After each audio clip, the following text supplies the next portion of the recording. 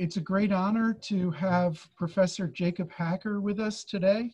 Um, he's a specialist in healthcare and uh, a bunch of other areas, which we'll hear about.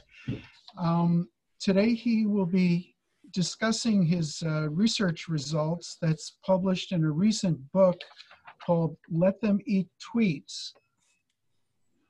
I don't know if you can see that. Anyway, it, that's the low-tech form. The high-tech form is a link that's pasted into the invitation that you re received for today's program. And you can go to either an independent bookseller or to Amazon um, as you like. But uh, if you're, if you're uh, enticed by today's um, presentation, go get the book. So his presentation, his talk today is called The Crisis of American Democracy, Plutocrats, Populists, and the Republican Party. So Professor Hacker, thank you so much for joining us today, and we look forward to your presentation. Great. Thank you so much, Dan. I'm going to share my screen so you can see uh, what I, you can see what my slides. Hold on a second. All right. So I've given a fair number of talks using Zoom, and I would say the thing I like least about it is the lack of, uh, of real-time interaction with folks. Because once you start making doing your talk, everyone kind of disappears into the background but I've actually gotten relatively good um, at, um, at responding to questions as I speak. So feel free to write them in the Q&A. And if, I, and if they're clarifying questions or relatively easy to weave into the talk, um, I can't promise that I'll be able to uh, do it, but I'll try to, to uh, respond. Um, as Dan said, I'm a political scientist at Yale, and this is my uh, based on my latest book, the picture of which is here, that um, is written with Paul Pierson.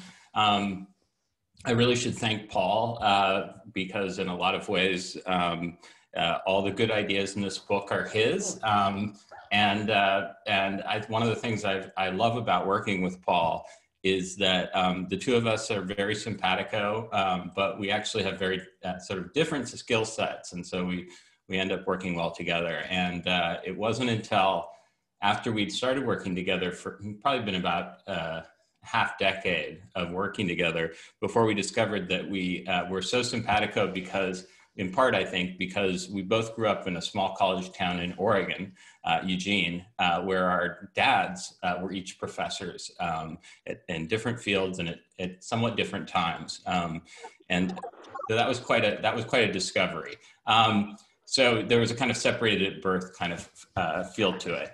So uh, book authors um, tell this sort of uh, dark joke that the period before a book comes out is the calm before the calm. Uh, because so often after you get a, book out, no one really pays attention. Um, and uh, but this has been anything but a calm period. Um, uh, the book came out a few months ago, and it's been as you know, crazy. Um, it seems like years ago that it came out. Um, and it's also, the book has actually received an enormous amount of attention, um, far more than we could have expected. And, uh, and we're really gratified by that. And I think part of the reason um, that it's received a lot of attention is that um, it feels like the forces that we describe in the book have kind of come together in the most intense way uh, as we've grappled with this terrible crisis uh, multiple crises that we're facing as a nation. So I want to I want to start because the title of the book sort of suggests a certain read of it. Um, that this isn't a the, the first line of our book is that this is not a book about Donald Trump. Um, uh, he is, in a lot of ways, a kind of late entrant into our story. He's as, as much a product as a producer of the forces we describe. Um, and the reason we say that up front isn't because we don't say we don't want to explain Donald Trump. We, we think there's a lot of explaining to do, but because we think that there's two ways in which we've been really distracted. Um, and the tweets that we that, that are in the title are kind of a metaphor for that distraction. One is that we're distracted by the kind of intense, um, the intense, their daily uh, kind of polarized rhetoric of the Trump presidency and of the last, you know, quarter century of our politics, increasingly intense. And I think we're also distracted because we've tended to see Trump um, as a kind of a break with what the Republican Party was before. Um, you know, we have a chapter in the um, in the book uh, that's entitled "A Very Civil War," um, which is sort of giving us giving you our sense of what this this conflict within the party really is about. It actually turns out that there's uh, a lot of ways in which Trump is a, is, an, is a kind of uh, uh, outgrowth of the extreme uh, development of the Republican Party. Um, and, uh, and he's by no means uh, a kind of wholly new, new creation. So the basic argument, um, I have no idea how this got on my screen, this red line.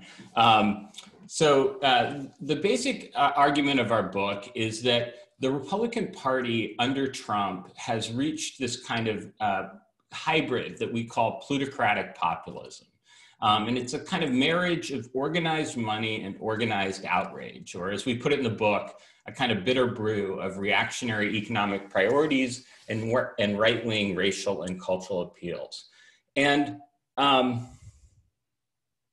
does anybody know why I'm getting these red lines? Do you guys see red lines on your screen? Yeah, I think there might be uh, somebody who has access to the screen that is drawing on my screen. I'm not sure how to get rid of that, but just so you know.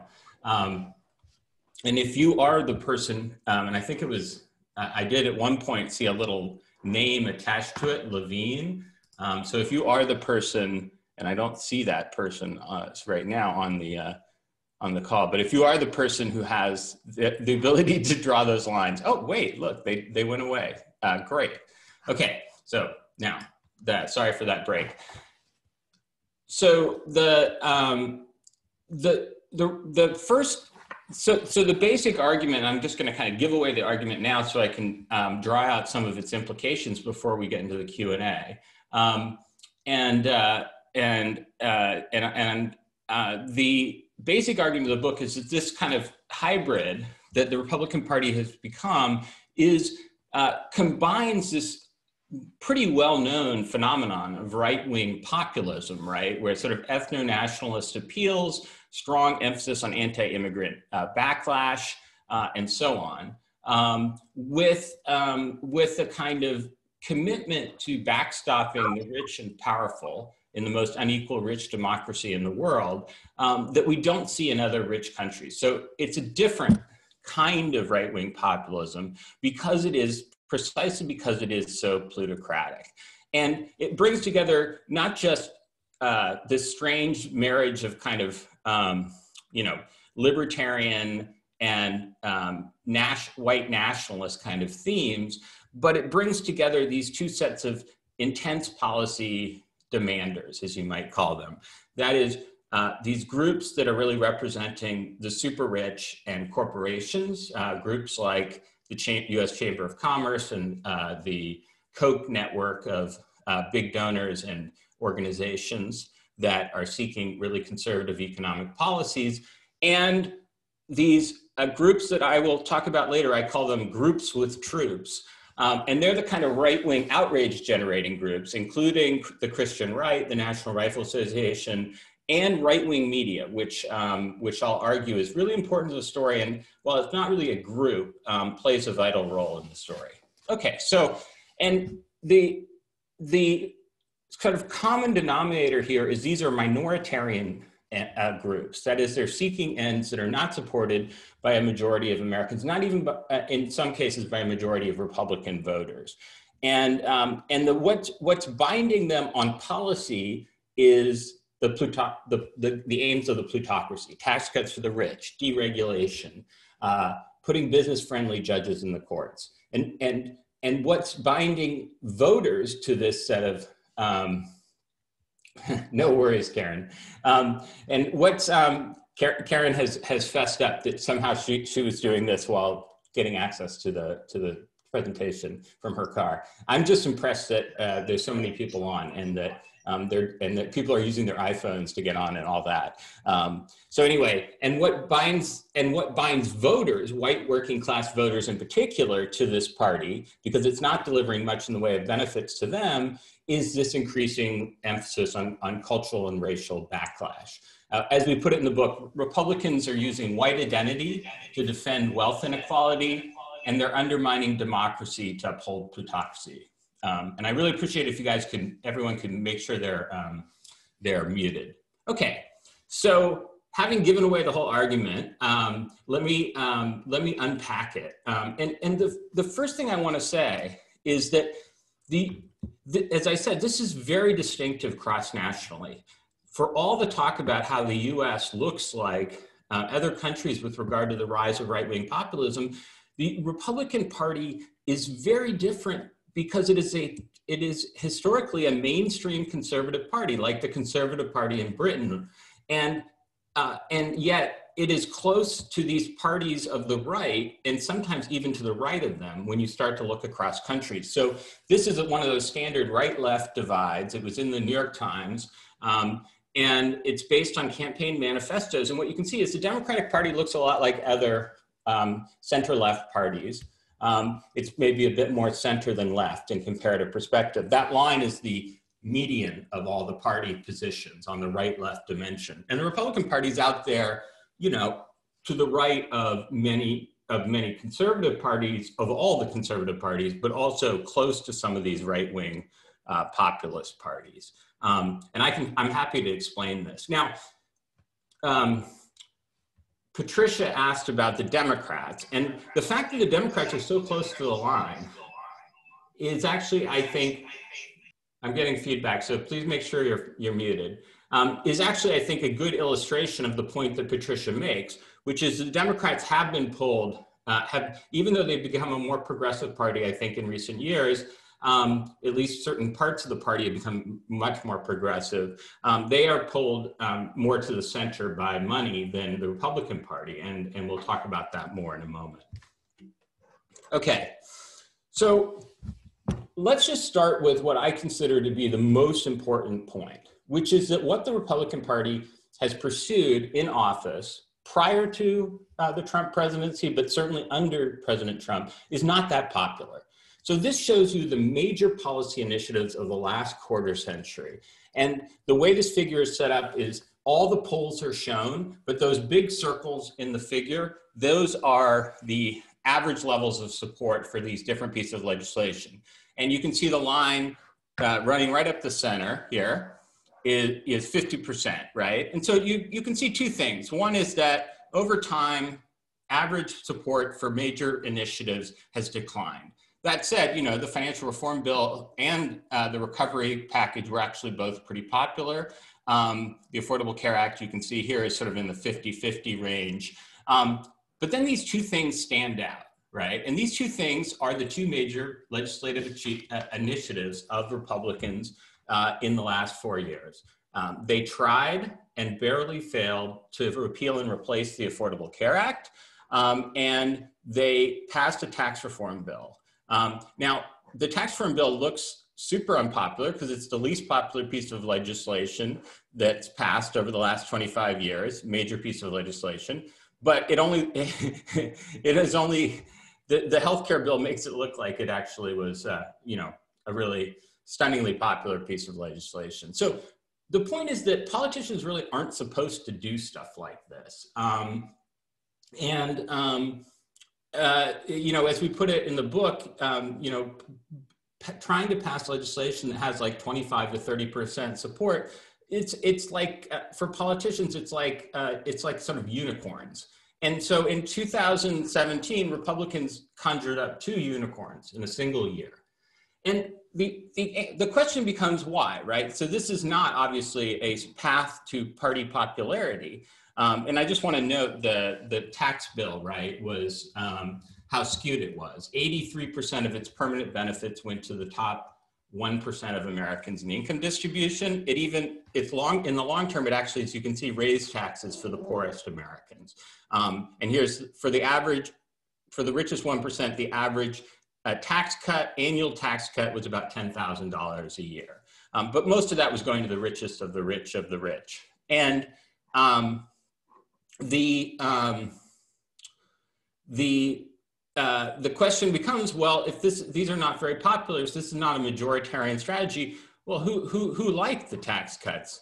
Well, the Republicans were pretty frank about that. As, as the bill was endangered toward the end of 2017, they uh, summoned their courage and helped out their, and, and uh, made sure to, um, to do what their donors wanted. Um, so, and, and, remember, this was not a small piece of legislation. It was $2 trillion unfunded um, uh, in tax cuts. Um, uh, and you should keep that in mind anytime um, you hear that we can't afford to spend a, a couple million, a, a, couple trillion dollars right now on saving uh, our economy um, for, amid the worst pandemic in our uh, in the last hundred years. Okay, so I don't want to belabor this point, but I think it's really important for political scientists, right? Um, there's a tendency to assume that elections and the sort of workings of democracy will assume will will create uh, responsiveness to the public, but that's just not what we see. And it raises two questions, right? It raises the question of well, why do they why are they so slavishly trying to do things that are not popular among their constituents, even um, and for the for the super rich, and also how are they getting away with it, right? Or how have they gotten away with it?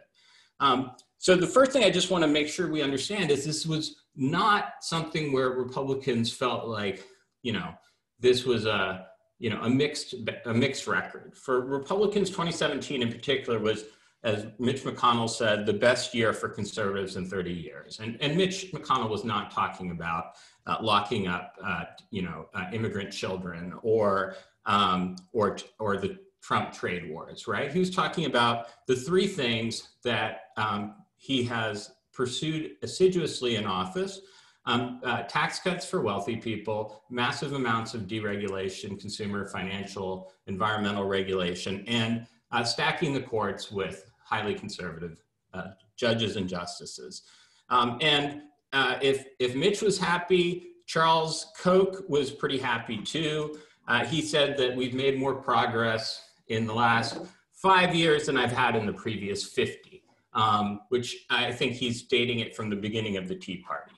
So um, let me let me just leave it there and move on. But I just want you to understand, right, that there is if this is a civil war, right, it's one in which the side that seems to be losing, the the sort of business conservative, economically conservative side, it, it's losing, but it's getting more than ever thought possible, right? So that's uh, uh, it, we should all have such, um, such losses.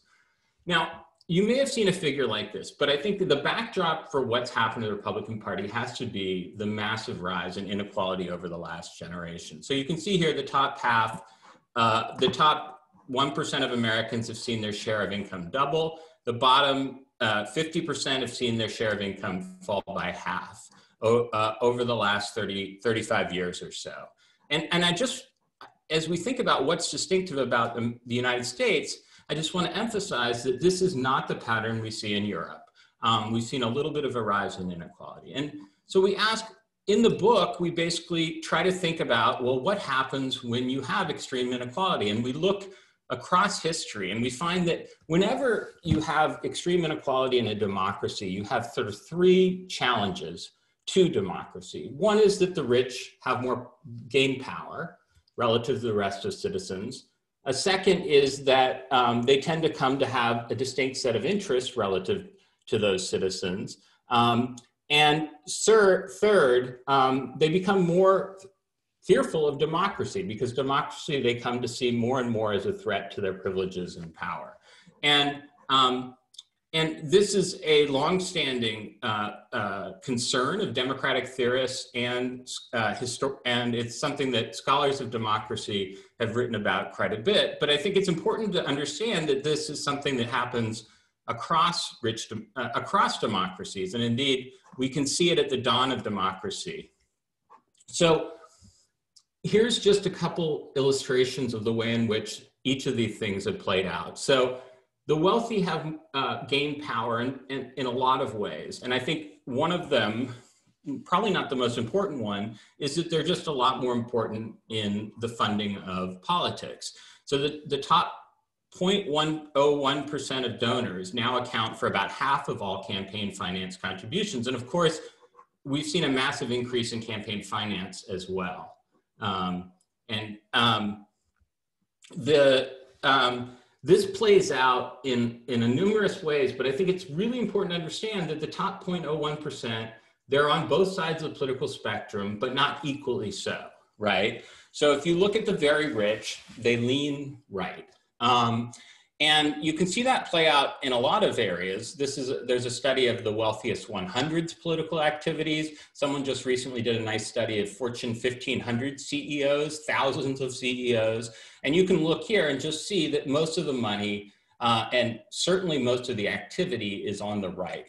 Um, and um, and you can also see it in this figure that we have in the book that I, I, I think is really important because it both shows this difference in the, uh, the, the, stance of, of donors, particularly wealthy donors within the Republican Party, um, and the degree to which they're, they're not just at odds with the general public, but with uh, Republican voters. So the only group that gave both the Bush uh, extension of the Bush tax cuts uh, to, to the richest Americans and, the, and Paul Ryan's uh, famous or infamous budget of cutting taxes and cutting benefits for ordinary Americans, the only group that gave a majority support to both those policies are Republican donors with incomes in excess of $250,000 a year.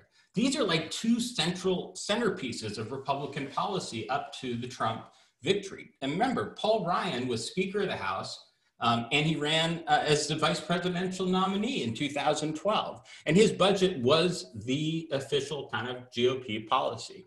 Um, if if if um, if Biden can say I am the Democratic Party, certainly Paul Ryan can say I am the I could have said I am the Republican Party's fiscal fiscal uh, policy. Um, okay, so the um, the the point I want to make is that the Republican Party uh, has a lot of influence. The people within the Republican Party who have a lot of influence are uh, are these conservative, um, uh, affluent voters, and so the um, the the place we turn for guidance is this um, work that's done by a number of his political scientists, but most notably Daniel Ziblatt, on how conservative parties adapted in the early 20th century. And the, what we take out of this work is that conservative parties always face this challenge of figuring out how to um, how to marry, um, how to stay true to their traditional economic patrons and to gain the support of, uh, of ordinary citizens. And so in the early 20th century, this challenge came out about because the suffrage was being expanded Today, um, in the last 25 years, Republicans, the conservative party in the US, has faced it because um, we've seen inequality rise so much. And so there's basically two issues, right? How do you get voters, um, and uh, and and how do you do that in a way that doesn't uh, that that does that that allows you to maintain the support of your traditional economic patrons? And there basically are two focuses, right? Two two possibilities. One, you can moderate on economics. Um, and you see that with the Tories, uh, for, for example, in Britain. But the, the other thing is you need to kind of introduce another set of issues. You can't just focus on, um, on issues of class where you're, um, you're going to lose the majority of voters if you're defending the super rich. And so this is sometimes by political scientists called second dimension issues, but we call them often um, uh, wedge issues, uh, we citizens. And you can see why this becomes important for the Republican Party in particular by looking at this figure. And um, this, is, um, this is showing you the um, votes in 2016. Uh, it's based on a large scale survey. So these are actual voters. Um, and the blue dots, as you might expect, are Democratic voters, and the red dots are Republican voters. And there are two axes, right? The up down axis is the so called uh, sorry, the left-right axis is the kind of right-left division among voters.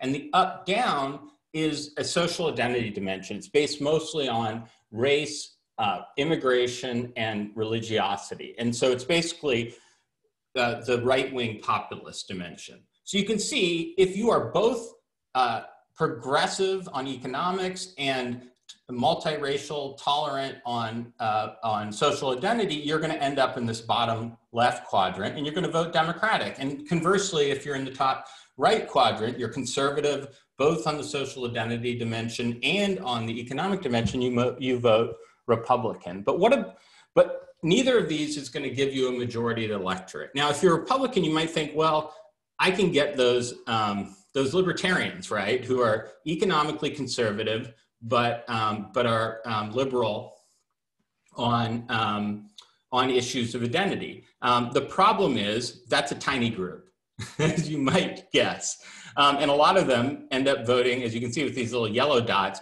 end up voting for third parties because they don't like Donald Trump. The group you need to get is this top left, and that's the group that uh, Donald Trump got.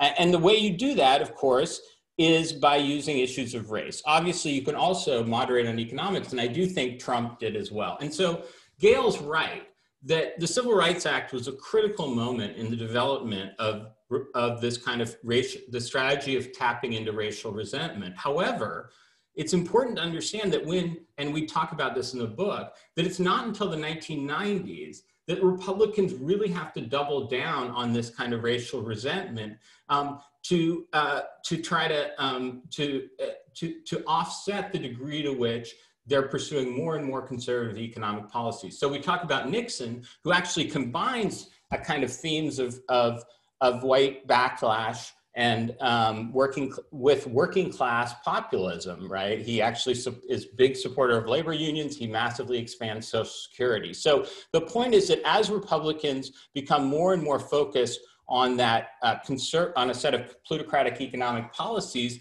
they have to um, emphasize more and more themes of racial division, and um, hence they use white identity to defend wealth inequality. So I said that there are um, two sets of groups, uh, groups with troops. Um, uh, there, there are two sets of groups. One set of groups is these plutocrats, and another set is these groups um, that are mobilizing voters with outrage, groups with troops. And I mentioned the NRA and the Christian right, and it's important to understand these groups have really deep roots in communities and therefore have the capacity to be able to bring voters to the polls in a way that parties often cannot. Um, but it's also the case that as Republicans come to rely more and more on these groups, um, they also are kind of opening a Pandora's box, as we put it in the book. Um, it's hard to close that. that's the whole idea of Pandora's box, right? Once you open it, it's hard to close it.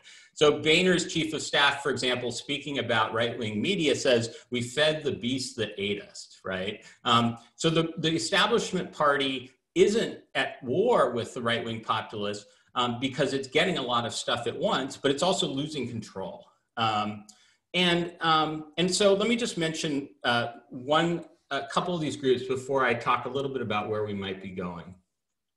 Okay, Fox, um, right-wing media is super important, far more important than I think we thought. If there are two things that we kind of do in this book that we didn't do in our prior work is we, we really unpack these groups and we really come to see that race is much more central to the story than we had thought in the past. And Fox is kind of playing this crucial role. It's like a social movement organizer for profit. Um, so with the Tea Party, for example, it sort of, it's not just um, reporting on these Tea Party protests, it's helping gin them up. And Fox does two things. One is it because Republicans rely overwhelmingly on Fox, it's able to create a kind of closed epistemic, clo epistemic closure where Republicans are in their own little ecosystem. Secondly, and I think this is, um, this is really important, it's able to use race in a way that politicians, at least until recently, have found very difficult. It's highly racialized, the themes in Fox News on immigration uh, in particular, but also with black-white conflict and um, there's some very suggestive evidence. For example, um, Fox News viewership correlates very highly with uh, racist Google searches, like people looking for the N word, for example. Um, and, um, and so Fox plays this crucial role because it essentially is is is stoking the same this outrage and becoming this crucial conduit um, for this kind of new strategy and and the, the Fox is crucial, for example, to the continuing escalation of uh, turnout among white evangelicals who are a declining share of the population, but a very stable share of the electorate.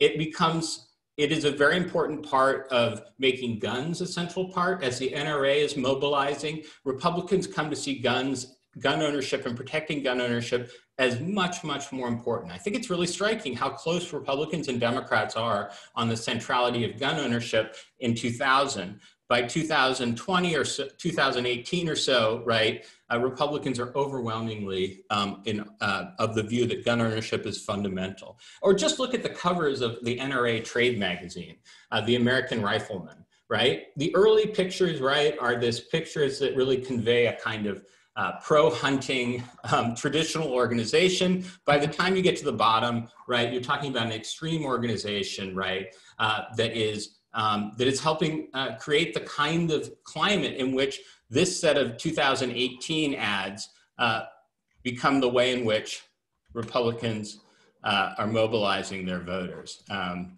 well, I don't know. I don't have those ads. They're not. They're not running. Um, but that's fine. Um, okay, so let me close with uh, some thoughts about the future. One one thing I want to really say is that this is not a majoritarian strategy. I've already said that. Um, and increasingly, it relies on sort of bugs and distortions in the American political system that advantage rural areas. And Republicans, um, and, and so in, as Republicans are, are digging deeper and deeper into the well of white voters, they're alienating non-white voters and our country is transforming. So they're on the wrong side of like the two great transformations of our era, rising inequality and growing racial diversity. And so how do they respond? Well, they basically responded by uh, relying more and more on sort of counter-majoritarian features of our political system. One that's quite obvious is the Supreme Court, right? Um, I think it's pretty striking to see that of the, the court uh, majority, uh, conservative majority, and let's say Barrett gets on the court, which seems almost a certain, then you will have seen six of the six of the Supreme Court's justices, the six majority, the six Republicans appointees on the court uh, all but two of them will have been both uh, both nominated by a president who won a minority of the popular vote, yet got in because of the electoral college, and uh, have been supported uh, by by Republicans uh, in this in the Senate, representing a minority of the American population, right? Because of the Senate's bias towards low population states. Um, and by the way, the fun, the, we're already seeing the centrality of this. It's not just, you know, Trump saying that he wants the election, uh, he wants to have the court, uh, the court have a conservative majority to deal with the election. Lower courts right now are making it very hard to deal with some of the issues that are arising with our pandemic election. Um, so I worry a great deal about where, about the future. And by the way, if you just look, it's not just that the gerrymandered House and the small state biased Senate are skewed towards Republicans, um, they're also skewed towards white people, right? Um, and so you're seeing this, um, these longstanding features of our system become more consequential as the Republicans become a more rural party, as they basically have also become much more aggressive in using whatever majority, whatever power they can gain to try to magnify the influence of their voters. We see this at the state level in particular, and um, I'll just skip the electoral college, you know that story, um, but I will come back to it if you're interested.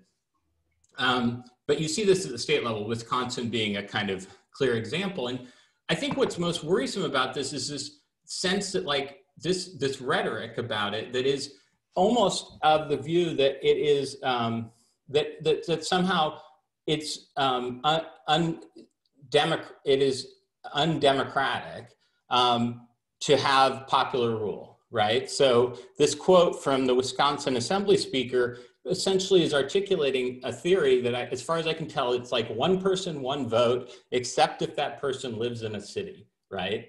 And it's so it's a kind of extreme. You've seen a kind of extreme um, the ends justify the means thinking about democracy. And, and, and so that that is, I think, the biggest fear that you could have is that you know not only do we face a kind of authoritarian threat, even if Donald Trump is defeated, we still face this kind of counter-majoritarian threat where Republicans are willing to exploit political institutions that um, to stay in power um, in a way that is really uh, undemocratic, small d democratic.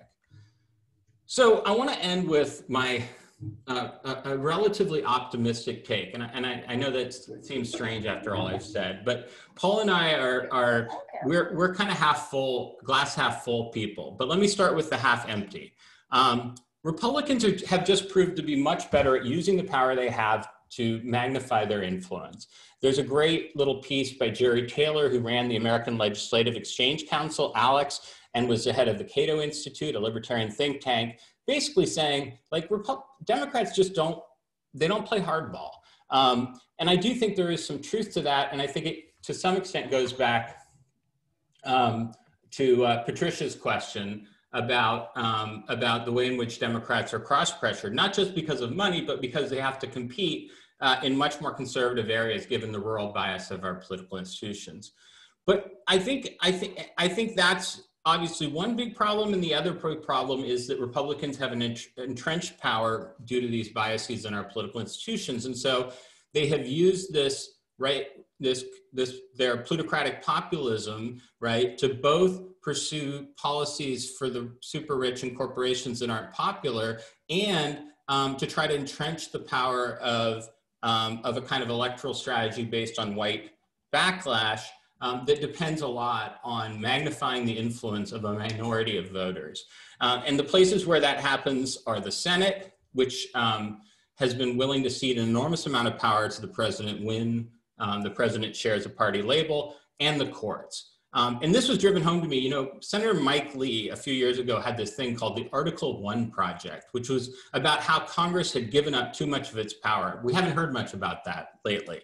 No, instead, Mike Lee is tweeting about how we're not a democracy, we're a republic. Um, we in the book show that, in fact, the founders used the term republic to describe what we call represent, what we now call representative democracy. Um, and indeed, to even call, you know, the idea that you know we should have you know roughly proportional representation and majority rule as um, as rank democracy. Um, rank democracy, I guess, is defined as democracy in which Republicans aren't guaranteed to win. Um, but ultimately, I do think we should be optimistic, and and here's why. One is that as we're seeing, right, this is a not a viable long-term strategy.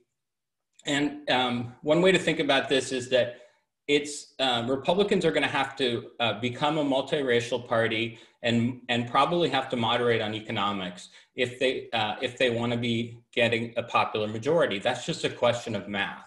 Um, the question of politics is whether we can hold whether or not they will seek to moderate or whether they'll try to undermine the free free and fair elections. And that's so I think I think if we can get through this election um, and, hold, and, and, seek to political reforms, then we're likely to, to see um, a kind of powerful um, self-reinforcing process that is going to uh, hopefully bring the party uh, back to a more moderate place or create a new party altogether. And I agree completely with, uh, with Gail that, that there are a bunch of institutional reforms we should talk about. However, um, I also want to note um, that, that the extremism of the party um, is um, creates some opportunities, right? It's actually possible now, thanks to the Republican tax cuts of 2017, to raise taxes on the rich and raise a ton of money for positive things um, in a way that's entirely popular, right? So that's, you know, and I also think Republicans have painted themselves into a corner on a bunch of issues surrounding racial, uh, racial justice too. So I'm not suggesting there aren't tensions within the Democratic Party, nor that there isn't um, a serious problem of uh, and risk of electoral violence, and a share of a, a substantial share of American voters, though far from a majority, uh, who are not uh, at all reconciled to the changes taking place in our society. But but I am suggesting that democracy work could be made to work better with uh, political reforms we can talk about, and that if it is, that there's going to be strong electoral pressure for the Republican Party uh, to, to moderate, and the conservative dilemma uh, might lessen.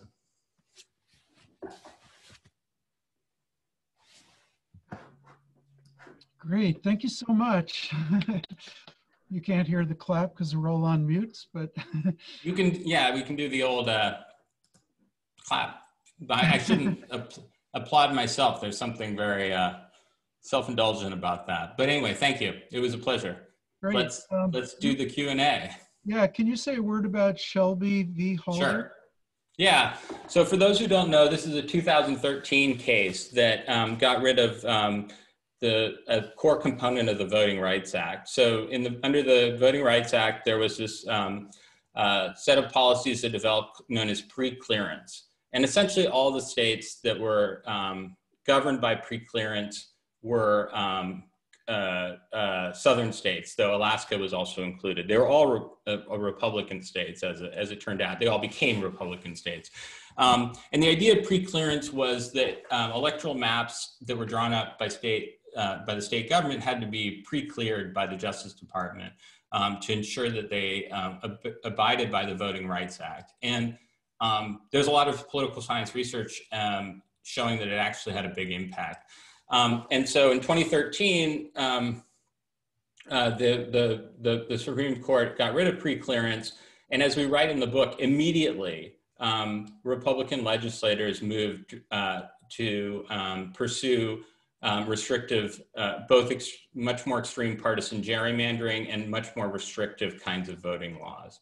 Um, and, and there's just no question that, um, that this erosion of the Voting Rights Act has um, added to the impetus um, in states that Republicans are controlling. Um, yeah, exactly, Judy. Uh, the it has added to the impetus in, in states Republicans have where uni, states where Republicans have unified control to use some of these um, various measures for uh, suppressing um, voters, and uh, and the, there's just also no question that overwhelmingly the the voters who are adversely impacted are low income and non-white voters. Um, there, there's been some research on this question of how big of an impact it's had. And I think one of the mistakes people have make in this work is to focus just on one part of it. So do, does voter ID have an impact? And the answer is um, maybe, eh, but it may not be that big um, of that one thing, partly because you see counter mobilization in the short term. But when you start to look across states and just think about like um, the whole range of policies that are pursued, the states that have the most restrictive voter laws have the lowest levels of turnout and the most skewed turnout towards whiter, more affluent voters. I, and, and they tend to be also states in which there's a significant partisan edge. And we don't need to like, um, we don't need to guess at this. Um, there's a story we tell in the book about the, um, the effort to try to include a question about um, uh, citizenship in, this, in the census. Now, right now, as you may know, the, the Trump administration is trying to use, uh, to, to, to um, change the census count um, so that they exclude um, uh, uh, people who are, who are uh, living in the United States who, didn't, who are not US citizens. Um, and this is a range of people. It's not just what you, you might call illegal immigrants or undocumented immigrants, it's also people who are visiting here or working here with visas, but they're not citizens. Now, the reason they want to do that is pretty obvious, right? And it's at odds with what the Constitution says, but the reason they want to do that is because that would reduce the voting clout and, um, and as well as the distribution of federal funds to areas with large numbers of, of, of um, non-citizens living there, and, and particularly immigrants. And um, and they had tried, Wilbur Ross, the head of the Commerce Department, had tried to include a citizenship question in the census. And, um, and people forget this. That's because we forget everything that happened more than a, like a day ago. But, um, but the reason they did that was because the father of all this kind of voter suppression and, and partisan gerrymandering, this uh, Republican operative named Hofeller, um, had written a memo in, res- uh, to, in response regarding a Texas case um, uh, Texas redistricting, in which he'd said basically we could get a lot more um, seats if we could um, find out how many uh, immigrants there are, undocumented people there are in, the, in these districts and redraw districts based on, on citizenship. And he said the problem is we don't know. We need a question for that. He died. The reason we know this is he died, and his daughter gave his hard drive, um, which has all this dirty stuff on it. And it turns out he was also funded by this multi-billionaire um, who runs the Washington Free Beacon. So, like all the pieces of the story we're telling kind of come together in this one story. So the you might say, well, thank goodness the Supreme Court did step in and say no. Well, but what they said was basically that, that Wilbur Ross was lying to the Census Department, not that there wasn't it wasn't constitutional to include this question. And it's, and it, and with a six three majority, it's not at all clear that they will say to the Trump administration, and God knows what the Trump administration is going to try to do. Um, and it can do it in the lame duck session, even if Trump loses. Um, but um, but they said you know you didn't do you, you know you didn't follow the rules and the trump administration may try to f- pursue this. So it's like it's really just like with the pre-clearance question we're in this period in which nothing seems to be off the table that was uh, off the table in a previous era. And it seems to be a big part of the story is that those who have great amounts of influence and wealth um, at the very least, are not fighting this aggressively, and sometimes are actually um, pursuing it because they would like to keep Republicans in power. Can you say a word about how the Republicans have leveraged the abortion issue? Yeah. So the, this we have a chapter. First of all, I really encourage people to pick up the book, um, and you know, just because I think there's a lot that's of value in there. Um, but we have a chapter that's on these um, groups, um, these surrogate groups, and it's entitled "Organizing Through Outrage." And the Christian right, which I didn't really talk much about, is a real. It's a fascinating story because um, conservative Christians, evangelical Christians, mobilized, particularly in the South, in uh, after the civil rights um, breakthroughs, um, to protect uh, this new set of um, educational institutions, private segregated academies um, that had arisen and they feared would be um, ruled unconstitutional by the Supreme Court. They did not arise around abortion. In fact, um, Roe v. Wade was not an issue at all among evangelicals um, initially. Um, in fact, a number of the conservative Christian groups took, were neutral on it um, in well into the, the, late 70s. The, there was a uh, this changed with a set of conservative Catholic organizers, uh, Paul Weyrich in particular, who were trying to bring uh, evangelicals into the Republican fold. And they, they initially couldn't get much in the way of traction among Republic, uh, evangelical leaders. And part of the problem was that evangelical leaders really were focused not just on the segregated academies, but on prayer and school. And that was not an issue that was going to unite conservative Christian groups. For example, Catholics would be very fearful, right, of a Protestant he- he- hegemony, hegemony. And so, what the Weyrich did, they basically used abortion as a kind of key issue in, in fighting Roe v. Wade. And then it becomes really core to the GOP um, platforms and to the Republican organizing efforts. And I'm not suggesting that people aren't sincere in their anti abortion views. I'm just, it's very interesting to see how it gets built into, it becomes um, a core part of the organizing because it, it serves this central purpose, right, of uniting conservative Catholics and evangelicals and also of allowing the courts to be the central focus. And um, yes, it's a great book. And then Frances uh, Fitzgerald's uh, Evangelicals is excellent too. Um, and this sort of is so one thing that we talk about is the Republicans are trying to bring these groups in. And again and again, they're trying to find groups that have two qualities. One, they have a lot of capacity to mobilize people, right? And it doesn't have to be a majority. In fact, it, it can't be a majority because there's just no way you could bring groups in on these kind of really extreme positions, a majority of Americans. Um, so they have to have that group they have to have the groups of tr- troops quality but they also can't challenge plutocracy. And so early on some of the evangelical christian groups are like well we need to have a lunch you know a, a bread and butter uh, agenda as well. Evangelicals on average are less affluent members of the gop coalition. And uh, Republicans are really insistent on bringing them in on terms that don't challenge um, the kind of growing commitment of the party to tax cuts for the rich and deregulation. And, and, and abortion is a great issue. And in fact, the courts become like the central focus. Why? Because you can pursue minoritarian goals through the courts and the, the, the Koch brothers network, the Koch network and the conservative Christian network, they, they can cooperate on the courts, right? You can get pro-business justices who are also anti-abortion, socially conservative. And the embodiment of this is the Federalist Society's um, uh, efforts, the Judicial Crisis Network, Le Leonard Leo, for example, a conservative Catholic, he's, he's very, very keen on the social conservative issues, but the money comes from the Koch network and from other uh, conservative billionaires. Um, and just to give you an illustration of this, as Kavanaugh was being considered, again, 44% of the senators representing 44% of Americans got Kavanaugh through, right? So skin of the teeth. And there was, the, it was crucial that the Judicial Crisis Network was able to spend um, tens of millions of dollars in, in, in, to push him through. Six, as they were, as Kavanaugh's uh, was becoming more and more endangered, a single donation of $16 million came into the Judicial Crisis Network. So that is definitely not coming from some conservative Christian voter, right?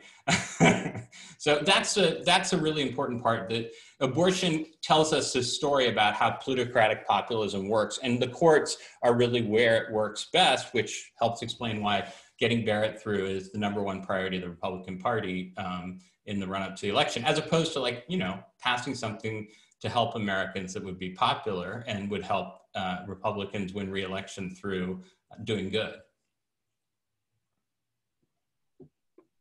If there are more questions, then uh, write them in the chat and we'll try to capture them, answer them.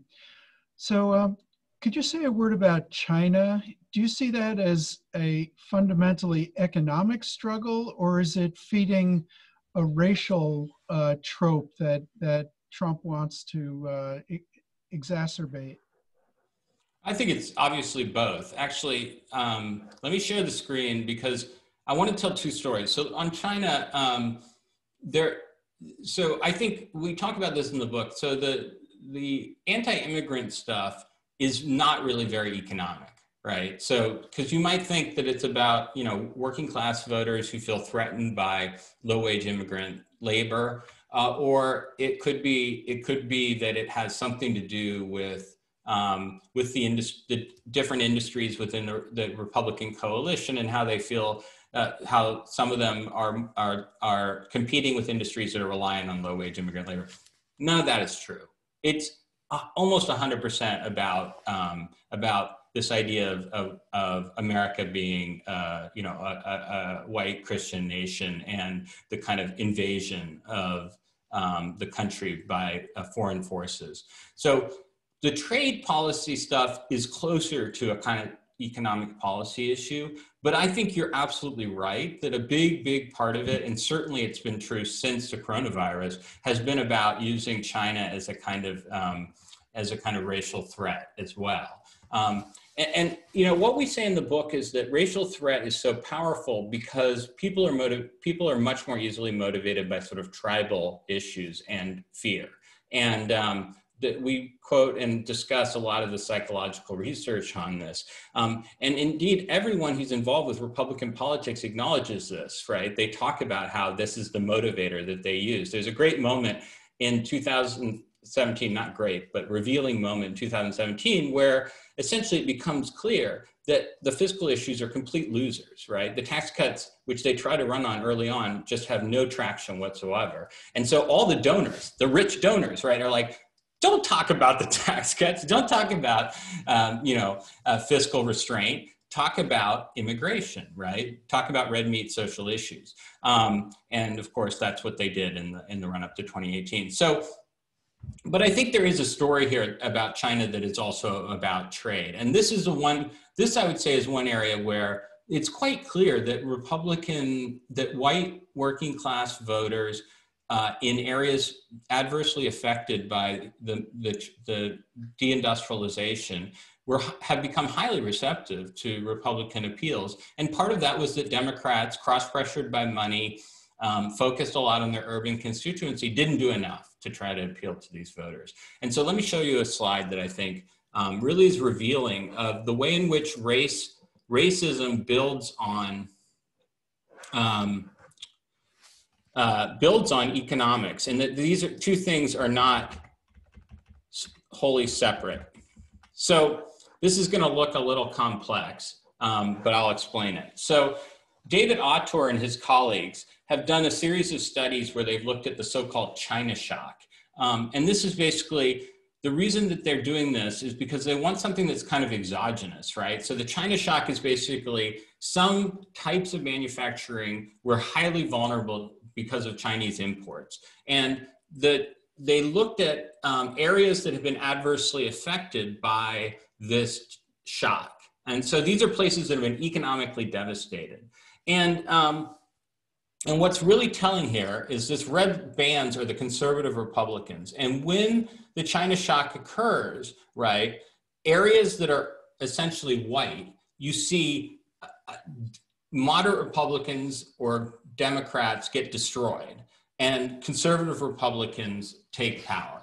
Now, it turns out that in areas that were really diverse that experienced the China shock, and there are not many of them, that actually liberal Democrats uh, did better. But so, so how do you explain this? It's not, it can't just be racism, right? Racism is a key part of it, right? But the racism is there, but it's the economic dislocations that are um, that are giving rise to this incentive for Republicans to mo- mobilize these folks um, and to mobilize them not on economic issues, because that would be inconsistent with plutocracy, but to mobilize them with race. So I hope that helps think a little bit about the role of China.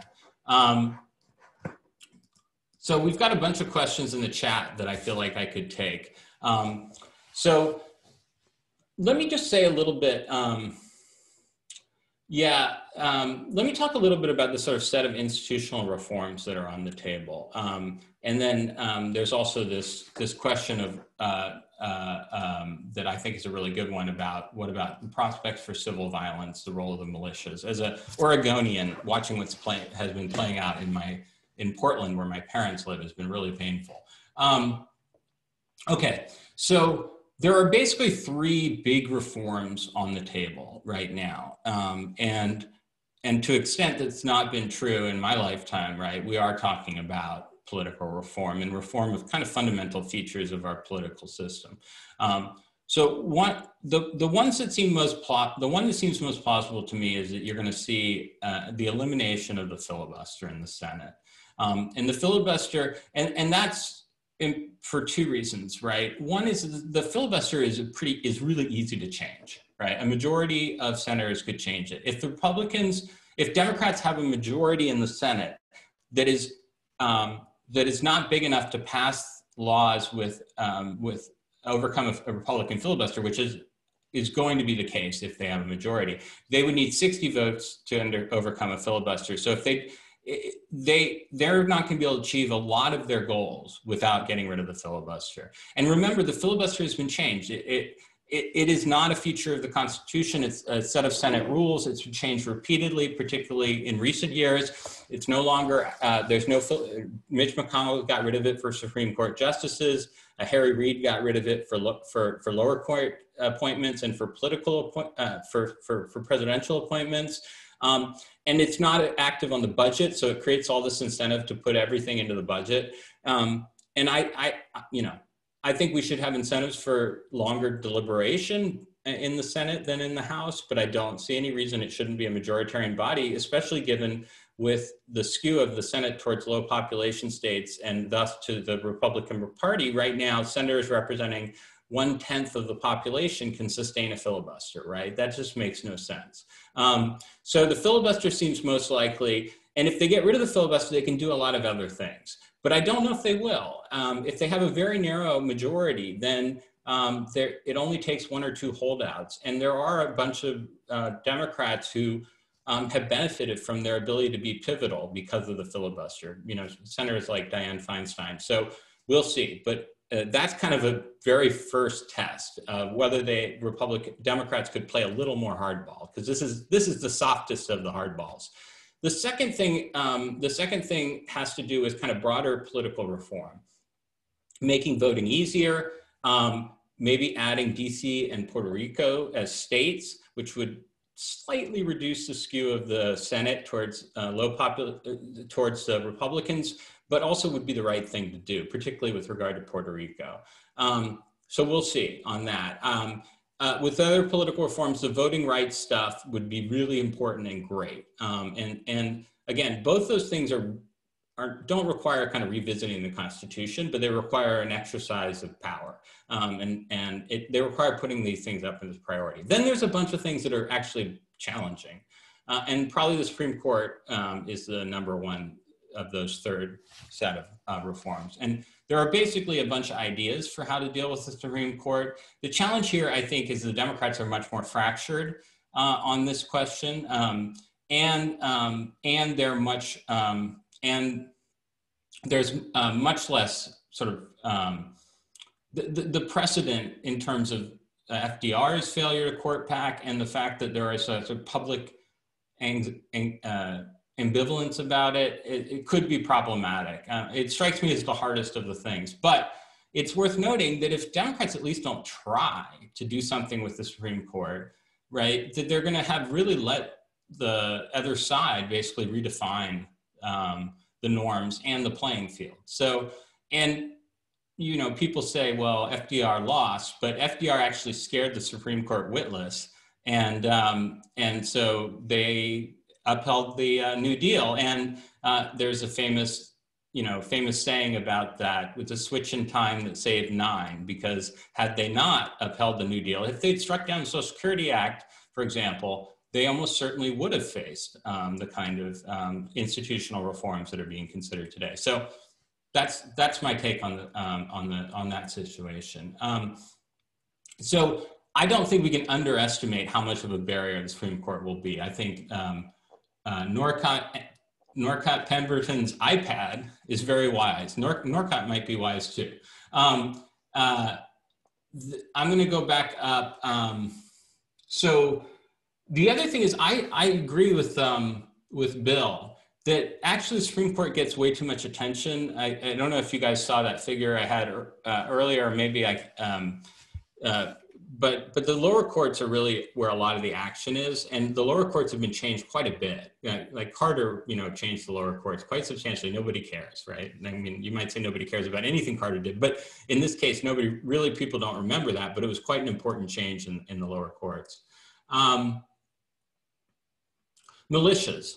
I said I would say a word about that. Um, and you know, I was just listening to the story um, about since I'm from Oregon originally, I, I used to be a race bikes and travel all over the area, and I spent a lot of time in Idaho, um, uh, around Coeur d'Alene and elsewhere, um, often just passing through on the way to like Spokane. But um, the the story was really about what's happened in Idaho, and you probably know, Idaho, you know, uh, uh, white supremacist groups identified it as a potential site for uh, kind of creating a new utopia for for white identity um, uh, politics. But but what was really striking to me was that every town hall meeting in Coeur d'Alene, there's a bunch of guys with guns, um, and you know, if you look at these images.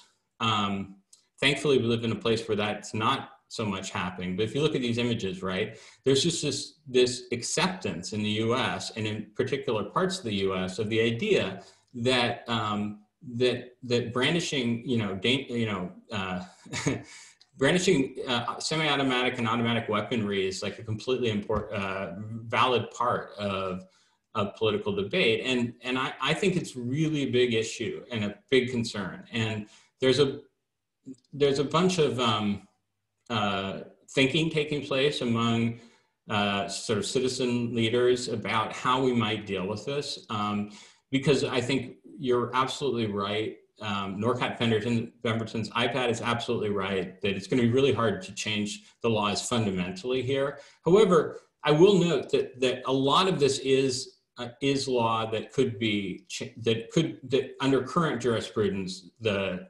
that uh, could be altered. Like uh, concealed carry laws, for example, uh, have been so far at least not treated as like essential to the Second Amendment. But But I, but I feel like, I mean, one of the things that has been so scary to me over the last few years is the extent to which there's been a kind of it's both sides um, reporting, even among even in you know in in mainstream journalism, that somehow there's this bunch of left wing radicals with guns running around fighting right wing radicals with guns. When the FBI and uh, had said that 90 90 to 95 percent of the domestic terrorist threat is due to um, is due to right wing groups. So uh, hopefully, if there is a shift in politics, uh, there'll also be a shift in policy.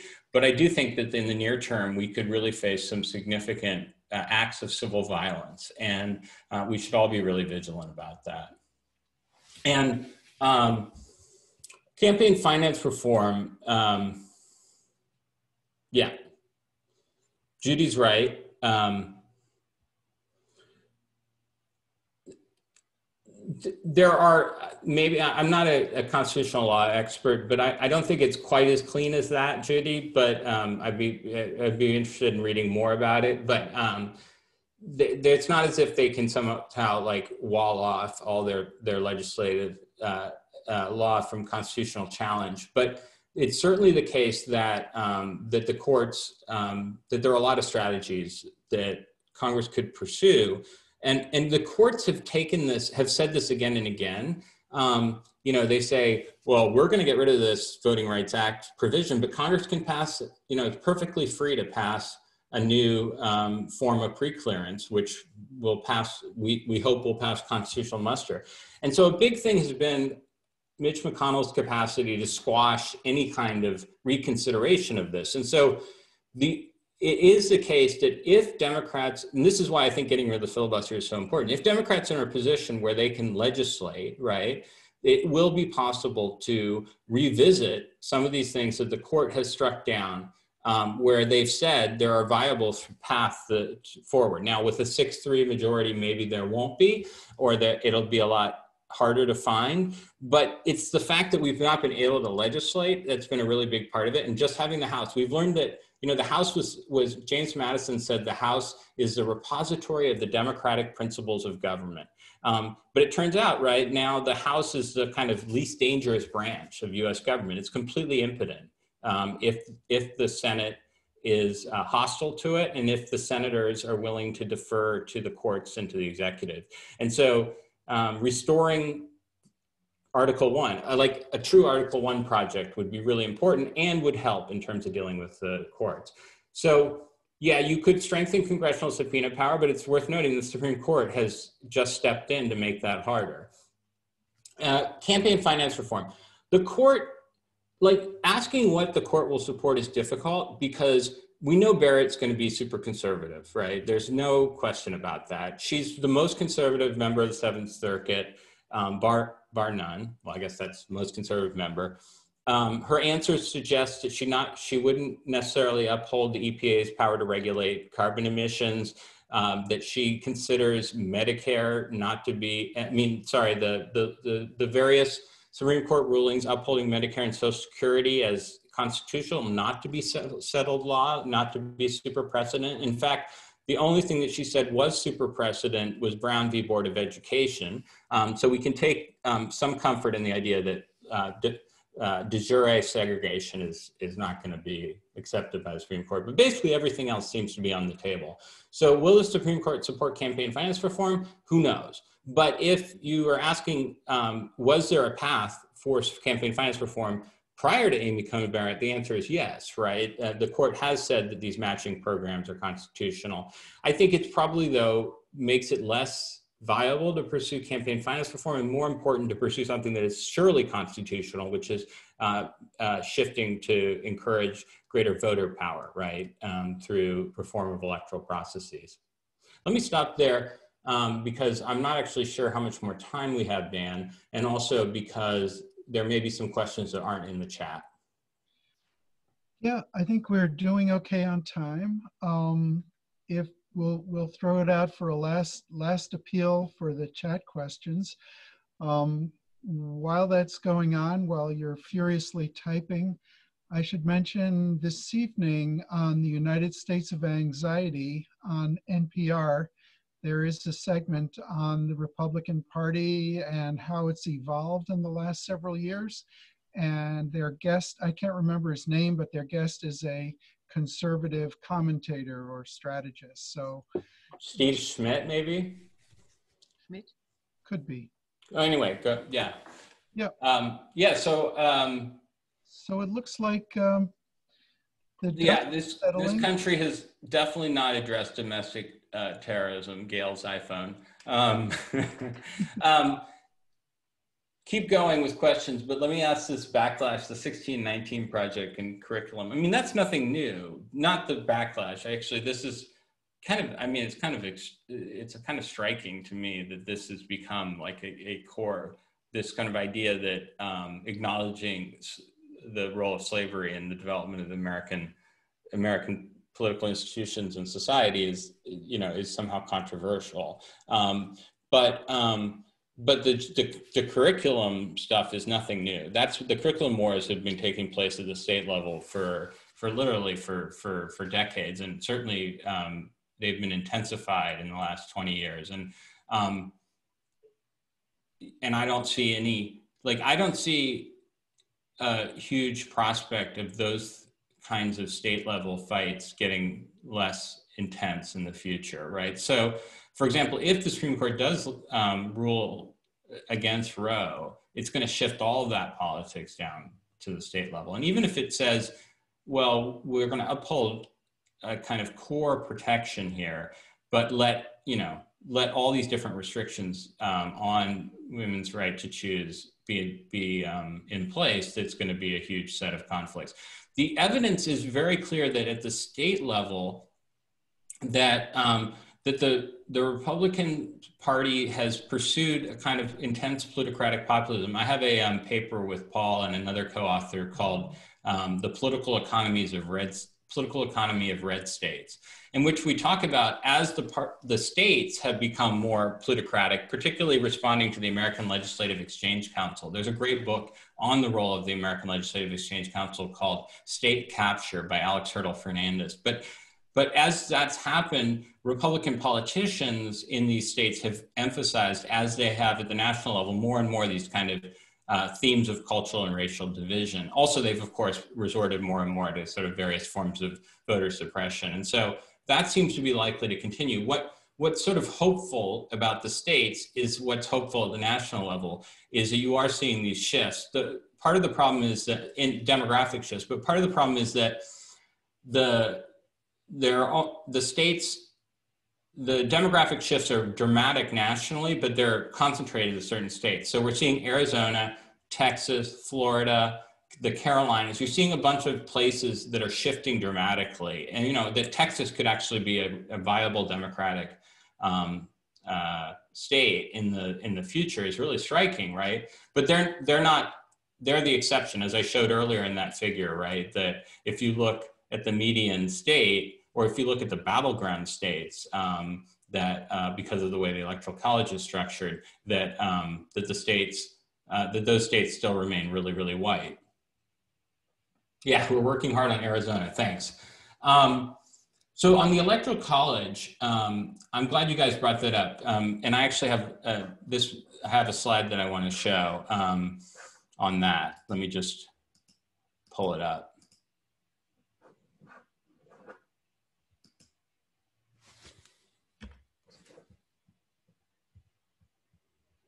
I may have actually shown it, but I, I, actually I skipped through it really, really quickly. But um, but I want to show it to you. Okay. So hopefully you can see this figure, which is a little weird. Hold on. There we go.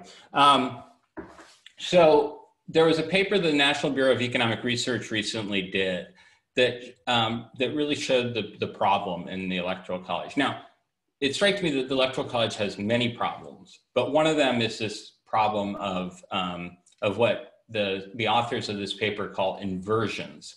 And an inversion is when a, one candidate wins the popular vote and the other candidate wins the electoral college. And what this figure shows you is note that the discontinuity at 50%, that when Republicans get close to 50%, their chance of winning through an inversion uh, goes way, way up. And this is pretty striking. Look, um, take 49 51, right? So this is a two point spread here. If Republicans, and the, you can see the on the x axis down at the bottom, that's the share of the Republican share of the normal two party vote. So if Republicans get 49%, they have a quarter, 25% chance of winning through an inversion. If Democrats get 51%, they have almost zero chance, right? So it's highly asymmetric. And the closer you get to 50 50, the, um, the more likely it is to get an inversion. Um, and so this is a really serious problem. This could happen again and again. Um, and it's not just because the electoral college is skewed towards um, low population states um, because of the fact that you get the number of senators plus the number of members of Congress as your number of electoral college votes, but also because of the nature of which states are battleground states because of the winner take all structure of the electoral college. And so it, whatever the reason, it's more, you know, we had one inversion prior to 2000, right? And we, since 2000, right, we've had, um, we've had two inversions and they both favored Republicans. And, and the result is that Republicans have won the popular vote once in 30 years. And they've held the presidency for 12 of those years. And they've appointed six of three Supreme Court justices, right? Or five of three, sorry, um, but six of three soon. So I think that's very striking. So how would you fix it? And, and by the way, I think even if it didn't have this partisan split, it would still be a really bad idea, right? So one thing is it focuses all the campaigning in the battleground states. And another thing that I think people don't pay as much attention to is because it is actually an electoral college where in principle or in, in theory, the states appoint electors, that you have the possibility of states getting involved that you don't have if you just have a national popular vote. So in 2000, as the Florida battle was taking place, the Florida elect legislator actually voted on a slate of electors for Republicans, right? Saying we don't, you know, we don't if we we may not know who's going to win, but we're going to make sure that George W. Bush wins. Um, and this is something that could happen in this election as well um, if uh, it's really close. So that's one reason that we all have to be really, really focused because there's far more states that um, Republicans control, as you see from this red-blue map, um, even though they're uh, they received a minority of the vote. Um, so the electoral college is bad, um, but you wouldn't have to amend the Constitution to fix it, as is noted in the questions. Um, you could have um, what's called the National Popular Vote Compact, where states representing a majority of the electoral college vote agree that they will give their um, electors, uh, all their electors, to the winner of the popular vote. So, of course, if you cross that line, um, then you will have um, a um, you will have essentially a national popular vote. The problem is that's easier than a constitutional amendment, but it still runs into this issue, which is very few people, very few politicians who have unfair advantages in politics give them up voluntarily. So, um, so I think um, this may be a very important reason why Democrats have to compete nationwide, right? Because you really need to see um, Democrats um, gaining ground in states like Montana or the Dakotas so that you have the prospect of the kind of institutional reforms that are not possible in the absence of that. And I think Democrats have really have I mean, I don't want to, I don't want to um, end on a down note, but I really do think Democrats have just have um, become somewhat over reliant on their um, their ability to win in urban areas and not um, attentive enough to the ways in which um, they in American politics is not fair, but um, you really have to you have to hold territory as well as win votes, right? So it's more efficient for Democrats to focus on the places where lots of people are but for winning power over the longer term, they've got to focus on the less populated areas of the country. And that's going to be tough because um, um, the, the, the party has not been as comfortable doing that. So I think we'll leave it there. Professor Jacob Hacker, thank you so much. It's been Thanks, Dan. less, less a lecture session. And um, I don't know if everybody realizes it, but it, and almost an hour and a half has gone by and we've been spellbound. So, Oh, thank you so much, Dan. thank you. And um, you can uh, applaud me by uh, picking up a copy of the book, but even more important, and really, this is the most important thing, vote. Um, and, and, and maybe even more important than you voting, because uh, uh, unless you guys are uh, like zooming in from, from outside the state, you are in, not in a battleground state, is to find anybody you know um, who's not who's who's in a state that really matters, um, or in a district if you're talking about Maine uh, that really matters, uh, and, uh, and, and get them to vote. And uh, so, thank you all for having me. Uh, thanks, Dan, for putting this together. The Blackstone Library is an amazing institution. Let's hope that we can all go back to it in the not too distant future. Okay, thank you, everyone. Thank you.